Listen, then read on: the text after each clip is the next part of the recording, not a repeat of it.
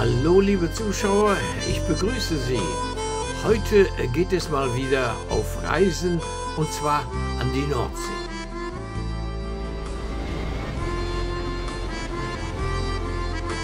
Mit der Fähre Frisia geht es zur Insel Jüst. Nach 65 Jahren habe ich mich mit einer ehemaligen Mitarbeiterin verabredet.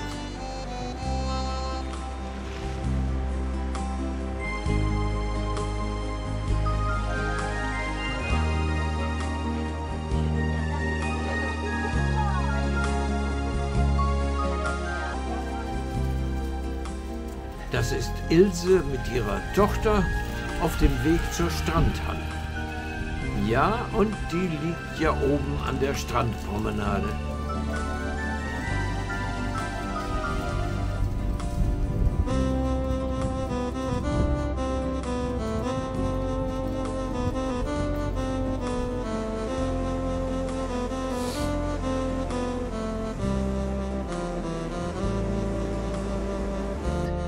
Und äh, ich habe hier eine ehemalige Mitarbeiterin äh, gefunden. Wir, wir haben uns verabredet und wollen mal über die alten Zeiten sprechen. Ilse, du bist ja damals mit 19 Jahren hierher gekommen. Ja. Ähm, äh, aber ich war ja Fotograf und du warst aber kein Fotograf, sondern Nein, du warst. Ich war eigentlich kaufmännische Angestellte Mhm. und wurde vom Arbeitsamt hierher ähm, versetzt sozusagen äh, wegen Klimawechsel, weil ich Aha. vorher immer krankgeschrieben war und dann hieß es, ich brauchte also aus dem äh, Raum von Celle nun irgendwie mal eine Luftveränderung Ja, ja. und es gebe einen äh, Transport vom Arbeitsamt auf die Insel Jüst. Aha, jetzt müssen wir aber eben dazu sagen, äh, wir sprechen vom Jahr 1958. Das ist schon sehr lange her. Und, 65 Jahre. ja, 65 Jahre. Und so war das damals auf der Insel, äh, dass also hier äh, Kinder auch hingesch hingeschickt wurden. Sechs Wochen zur Erholung. mein ja. Bruder war nämlich auch hier, das weiß ich noch. Ja, weil er angeblich ja zu blass war. sehr viele Kinderheime. Das Und ja, hier gab es ja auch viele Kinderheime. Auch äh, äh, von evangelische und katholische. Ja, und auch, auch äh, von der Stadt Unna.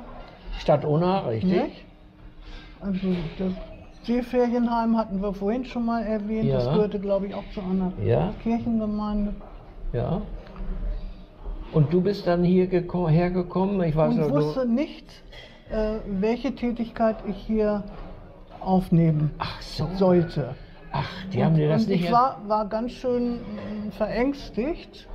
Und ähm, alle um mich herum sagten, sie kämen in Hotels und Pensionen und müssten da Kartoffeln schälen und Betten machen. ja, Und ich wusste gar nicht, äh, ja, wie mir geschieht. Und äh, jedenfalls auf einmal hat sich eine große Dame gemeldet und hat gesagt, ich suche Fräulein Krüger. Aha. Und äh, das drang zu mir durch und ich habe mich gemeldet und dann sagte sie, kommen Sie mal gleich mit, Sie gehören hier nicht her. echt? Sie sind unsere neue äh, Büroangestellte. Ja. Und wer war das? Ja, Frau Bronke. Äh, äh, äh, Frau das war Brunke. Frau Bronke. Ja, Ja. Und dann sind wir also die Chefin vom Foto Brunke. äh, Ja, genau. ja, dort hinter den Laden gegangen. Da war so ein Wohnzimmer und Ja, haben richtig. da einen Tee getrunken. Ja, Das ja, war meine erste Begegnung in Jüst ja.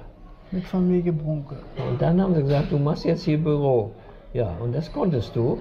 Äh, das Und- konnte ich, das hatte ich ja gelernt. Ja, Und zusätzlich war ich im Laden beschäftigt. Ähm, nicht unbedingt, um Fotoapparate zu verkaufen, das kam erst später dazu, ja. als ich die auch wirklich kannte. Äh, zuerst ging es mir um Muschelkästen Ach so, ja, ja, und ja, ja. Äh, zum Beispiel Richtig, so, so. Austernschalen. Ja. Ähm, die nannten wir dann Aschenbecher für Nonnen. Ja, ja, ja, genau. Die haben die nämlich gekauft als Aschenbecher, um zu vertuschen, dass sie rauchen. ja, genau, so war das. Genau so war das. Ja, ja, ja. Ja. Und Jetzt ähm, ähm, eine Saison, das weiß ich noch, ähm, 58, da war ich ja auch hier. Und 59, da wurde ich eingezogen, ich musste zum Bund. Mhm. 59 warst du auch hier, oder nicht? Nein, Nein? Nein Du bist da- also im Winter, es war ja so, im Winter mussten alle Angestellten hier von der Insel wieder nach Hause fahren. Ja, man blieb immer Im Winter nur war ja nichts los hier auf in der den Insel. Sommermonaten, während der Sommer- Saison. Ja, ja, ja. Heute sieht das ja alles Und ich ganz wurde auch aus. gefragt, ob ich im äh, Herbst 58 mit nach Emden gehe.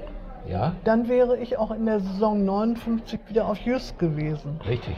Mir erschien das aber irgendwie in den Papieren nicht für gut, wenn ich alle halbe Jahr woanders arbeite. Ja, ja, ja. Und deswegen bin ich wieder nach Haus gegangen. Außerdem war ich frisch verliebt. ja, Das du? war schon ein triftiger Grund, nach Hause zu gehen. Ja, Und ähm, habe dann dort erstmal anderthalb Jahre im Stück gearbeitet und bin dann wieder für Ja. eine Saison hierher ja, gekommen. Ja, ja, ja.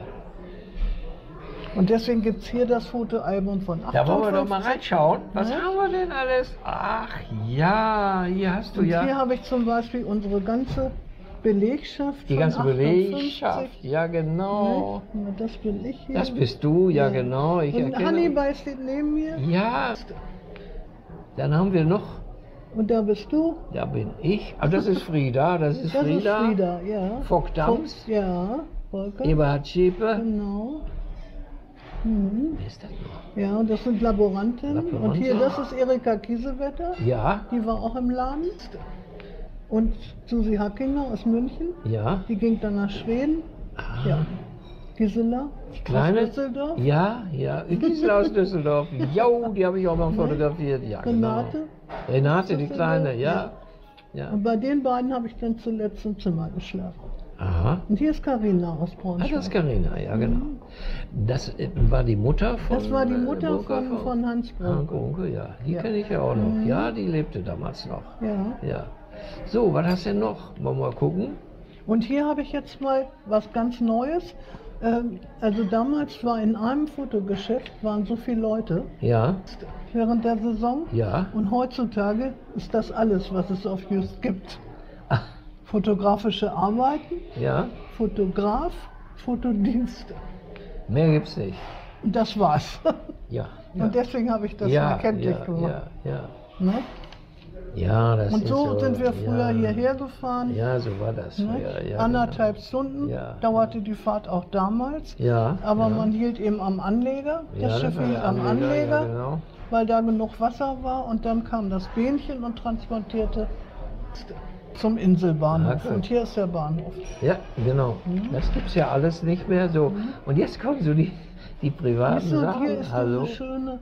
Ja, ja, ja, ja, ja, ja, ja, ja, ja. Ja. Das war eine Holzschnitzerei, nicht Ja, das Ganze? ja, das Mhm. war schon Mhm. wertvoll. Ne? Und hier Zimmer Nummer 1, Ja, Zimmer Nummer 2 ja, und von das letzte war dann bei Gisela und Renate. ja, ja, ja, ja. Ja, da sind wir auf Bühne du 17. Schande, Da bin ich auch dabei. Ja, ja, ja, ja, ja. Wie, das weiß ich alle gar nicht mehr. Ja, Da haben wir auf Düne 17, da, Ja. ja, ja. Düne 17, Ja. Mäuschen, du weißt Bescheid, Düne 17, habe ich ihr erzählt, wo ich mal, Düne 17 nachts geheizt, haben wir ja, gehabt. ja, ja, ja, da war das. Hinter der Strand, hinter der, äh, wie heißt sie doch? Und abends waren wir da öfter mit einer Flasche Wein. Jo, jo, jo. Hinter der Und dann Sturmklause war das. einen großen Strandkorb vom Kinderheim genommen und Ja. zwei kleine Strandkörbe davor.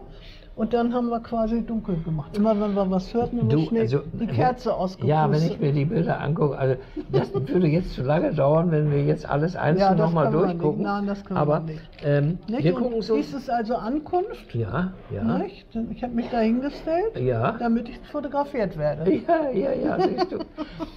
ähm, Ilse, jetzt aber, äh, du bist ja jetzt auch schon 85, wirst jetzt 85 Jahre, ne? Ja. Bist 85, Mhm. Fertig. wohnst in, äh, ja, wohnst in äh, Hannover, Ja. engagierst dich aber immer noch. Und ich habe gesehen, du machst was mit Stereofotografie. Erzähl mir mal, wie bist du denn dazu gekommen? Stereo, Tja, das macht ja heute kein Mensch, oder? eigentlich am Jubiläum von Celle. Ah, 1992 hatte Celle äh, welches Jubiläum? 700. 700 100-jähriges. Ja? Und ähm, dort kam, äh, wurde ein Kaiserpanorama Mhm. aufgestellt, vorübergehend wegen des Jubiläums. Mhm. Und dort wurden alte Bilder, 100 Jahre alte Bilder Ja, gezeigt. ja, ja, Und das war Stereo, ja, Kaiserpanorama. ja, Und das hat mich total fasziniert. ja. Und äh, da lernte ich auch einige Leute kennen, die genauso begeistert waren. Und dann hieß es, wir gründen eine, einen Verein. Ja, aha, aha. Und ich wurde gefragt, ob ich dabei sein möchte. Ich sage ja Ja, und bin ja, beigetreten. ja. Du hattest aber damals, als du hier auf Just warst, keine Ambition Doch. irgendwie zu fotografieren. Doch, doch, doch, doch, das hatte ich.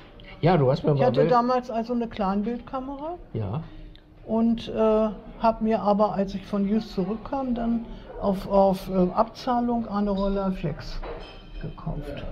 ach, eine 6x6. Eine 6x6 Ja, ja. und die habe ich auch heute noch. Ach, die hast du. Und noch. mit der habe ich auch zu Anfang Stereoaufnahmen gemacht. Ja, Eben ja. mit Mit, Verschiebetechnik. mit, ja, ja, ja, Genau. ja, ja, Ja. genau. Also zwei Bilder, Augenabstand, so und so. Ja, ja, Ja.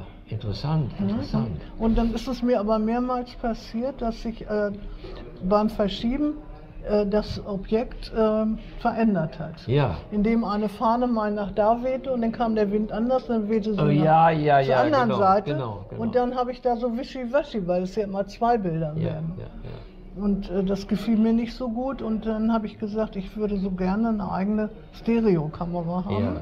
Ja, ja. Und äh, inzwischen war ja die Grenze gefallen zwischen Ja. Ost und West. Ja. Und auf dem Berliner Flohmarkt wurden äh, russische Sputnik-Kameras.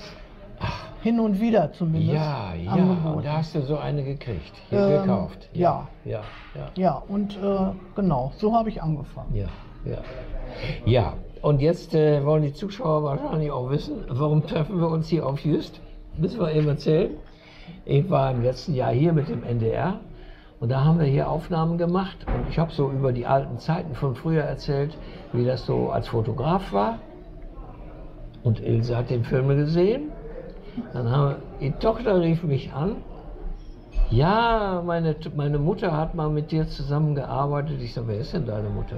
Die mit den roten Haaren. Und da musste ich lange überlegen. Das ist sie. Heute, Guck mal, das ist heute, ja, das ist. Ja. ja. Und wir haben uns getroffen. Es haben viele Leute angerufen, aber Ilse war die Einzige, die mit mir damals zusammengearbeitet hat. Ja. War damals 19 und ich war 20. Ja, und jetzt Ja. sind wir wieder auf Just. hier mit Bernie. Ja, genau. Und jetzt gucken wir uns dieses Album ganz in Ruhe weiter an. Nach einer Stunde, wir sind am Strand. Ein Muss für jeden, der am ersten Tag auf Jüst ist. Dicke Jacke an und die frische Brise weht einem ins Gesicht.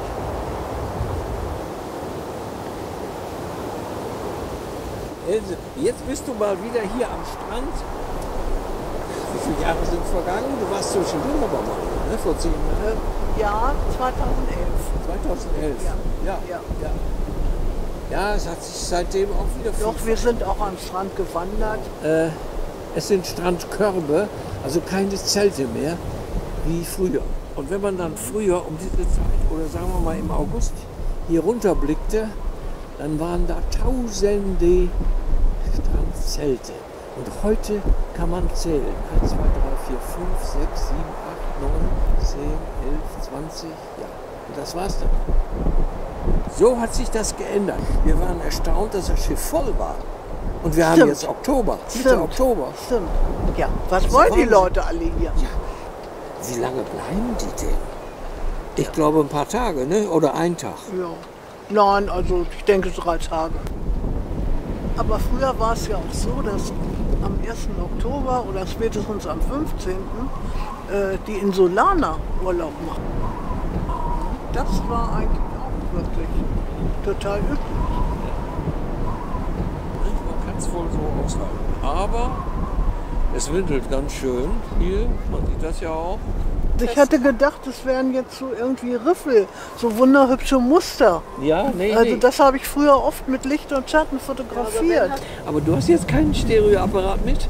Nein, weil die Filme so knapp sind zur Zeit. Ja, man man sollte es ja nicht glauben. Es liegt nicht am Geld, es liegt wirklich am Filmmaterial. Es muss irgendwie durch Corona passiert sein. Vielleicht kommen die aus Nahost. Ich weiß es nicht genau, wo die herkommen. Äh, auf jeden Fall äh, in ganz Hannover gibt es Das heißt, das sind keine sechs, Filme. sind sechs mal neun Rollfilme. Ist das richtig? Mhm, sechs mal sechs. Mal neun. Rollfilme, da kannst Ja. du zwölf, äh, sechs mal sechs. Ja, genau, ja. Und weil ich Stereo mache und immer zwei Bilder zur gleichen Zeit belichte, bekomme ich sechs Bilder. Ja. Aber die machst du in Farbe. In Und- Farbe, und ja, und immer, Wird, immer Dias. ja, das wird, wo wird das entwickelt? Wird eingeschickt. Ja, da gibt es verschiedene, die das Äh, machen. Ne? so. Semicolor und so machen das auch. zum Beispiel, ja. Ja. ja, es gibt auch ein Harz an. Ja, gibt es auch. Ja.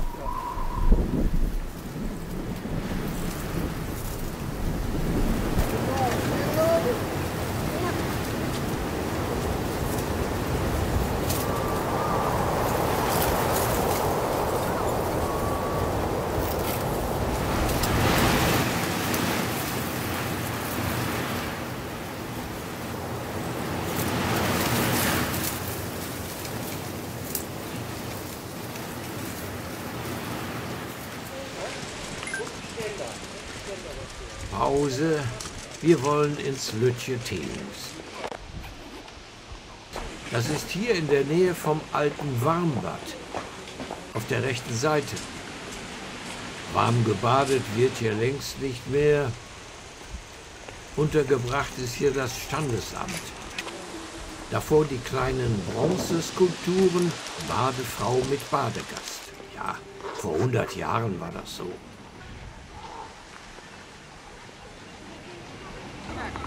Hier das Lütje Teehus versteckt zwischen Bäumen und Sträucherwerk.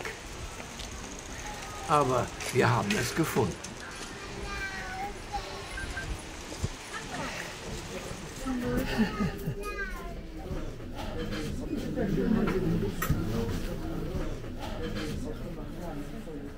Ilse, wir können auch durchlaufen. Ist da noch Platz? Hinten?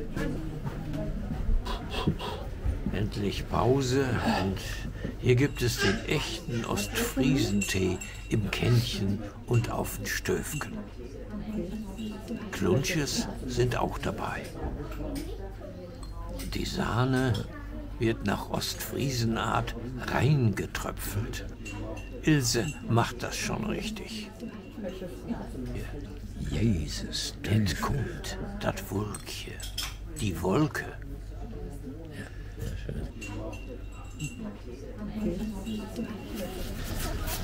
Ein schöner Tag geht zu Ende. Noch einmal am Schiffchenteich schauen. Ja, Cordula war als Kind auch schon hier. Und ab geht's jetzt zum Schiff.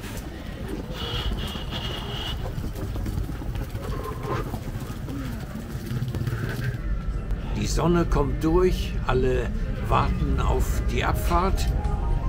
Die Kurtaxe für den Tag muss noch bezahlt werden. Ja, Kurtaxe sagt man nicht mehr, das heißt jetzt Gästebeitrag. Wir verlassen die Insel. Auf Wiedersehen, Jüst. Vielleicht bis zum nächsten Mal.